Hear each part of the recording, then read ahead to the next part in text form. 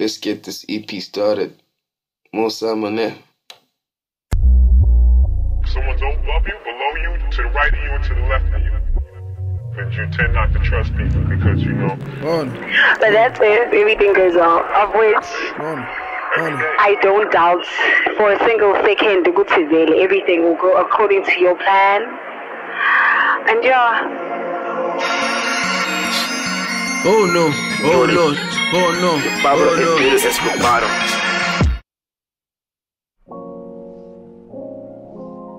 I remember the first song I heard was Michael Jackson, Moonwalk. Uh, it just caught my attention.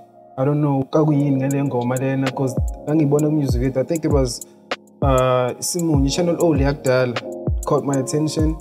And the first local song, Gogo Brenda Fassie, Vulindlela. It's a pop, Afro pop song. It caught my attention and it was a very beautiful song. And throughout my journey, every sound that I heard, uh, every piece of music that I heard was like embedded in my subconscious. It started with R&B songs actually. Angab- angizibhala phansi like I used to write a lot of songs. Okay. But ngabona ukuthi I, I can't actually sing these songs. Writing music, I started writing R&B songs. Uh, not vocally projecting them out because my self-confidence at the time was not on a high, you know.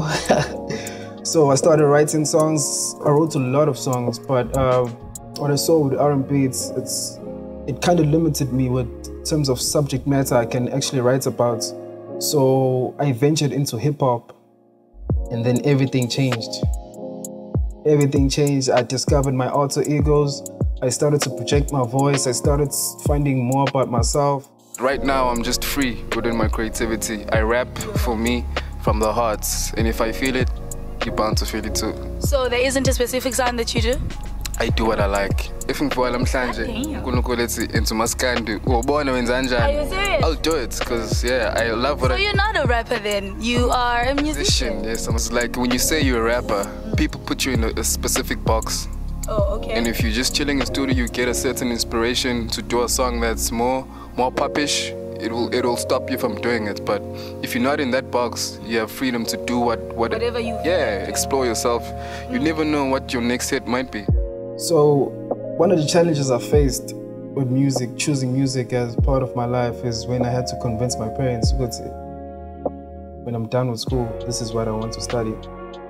And nabazi aba- abazali abamnyama kanjani izokulethela imali lento sithabiso uzoqashwaphi so I decided I want to study sound engineering not knowing at the time ukuthi sound engineering was the best choice that I that I ever made. Because in sound engineering you learn the music and you learn the engineering of the music. And you combine that together with your artistry and then you just become a beast. You become a down